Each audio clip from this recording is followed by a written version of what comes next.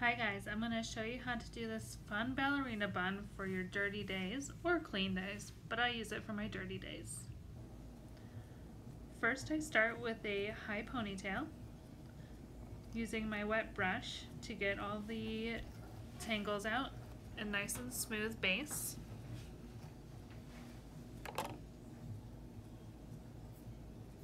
Using Monat's refinish control hairspray to get the little squirrelies on my neck that don't stay up on them uh, on their own.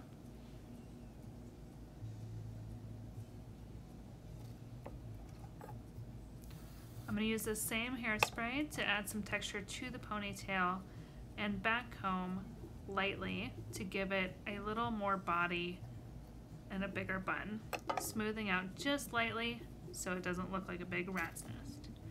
I'm going to roll and pin as I go, creating a donut.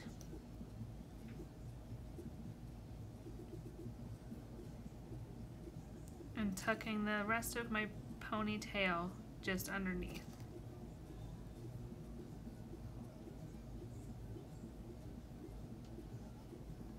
I like a little wispies to finish off.